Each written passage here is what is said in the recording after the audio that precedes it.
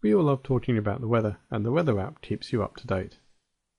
When you click on the weather tile for the first time, Windows will ask if you want to turn on location services. We're going to allow this as it makes it easier to set up the weather tile, but as we don't have GPS in our computer, it will attempt to work out our location using our internet address. This is fairly reliable, but if it doesn't get it right, it's easy to change. First, let's take a quick look at the information on offer. We have a summary here of the weather for the next few days, and if you prefer your temperature in Celsius, right click on the app and then click on the Change to Celsius button.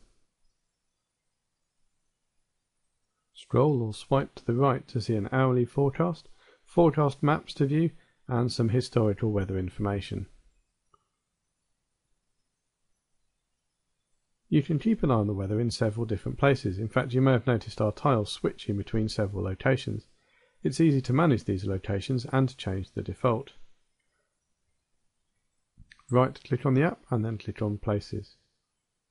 Click on the plus icon to add a new location. Type the name of the place you want the weather for and press enter.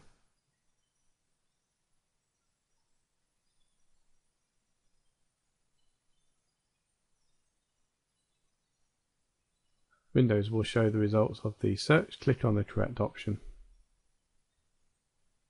You can see that it's now been added to our list of places. To show the weather from this location, click on its button. To change the default setting, right click on the app and then places again. Right click on the new place and then click on set as default at the bottom. This menu can also be used to remove a place from your list of favourites. You can see that the new place has moved to the top and it has a little home icon to show that it is now the default. To see the weather across the world, right click in the app and then click on World Weather.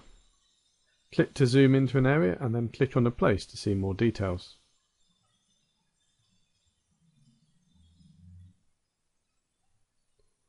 To quickly add this place to your list of favourites, right click on it and then click on Add.